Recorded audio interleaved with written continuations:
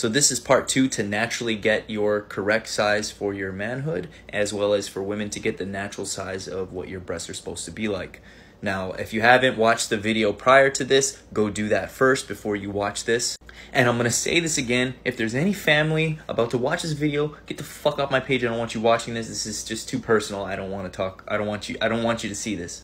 Now, I just want to explain to you what I did and basically what I feel like if you do this, you will see the same result.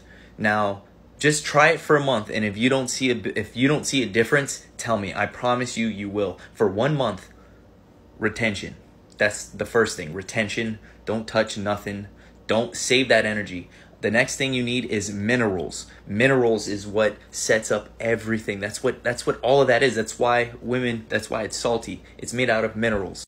And man, I tell you, I kid you not, if you have a bunch of honey, it will taste like honey if you're not eating anything bad. And women, if you are with a man and you decide to put that shit in your mouth and it's musty, that tells you he's fucking unclean. He's not eating things that are good for him. But if it tastes amazing, I can't believe I'm fucking saying this. It's like just I have evidence of this, okay? And I'm still like in awe, and that's why I have to explain this to you guys. Okay, so one month retention. Now, in this one month, every single week, you're gonna not eat for three whole days. When you skip eating for at least two to three days, you activate your growth hormone. It's literally like you're activating a natural steroid. And if you're stacking minerals and you're eating everything very, very clean and you're not eating anything unnatural packaged, no soda, no high fructose corn syrup, none of that shit. I promise you, after a month, you will see a difference. You will feel different. And so, like I said, these are the two things you want to get. Pause to read.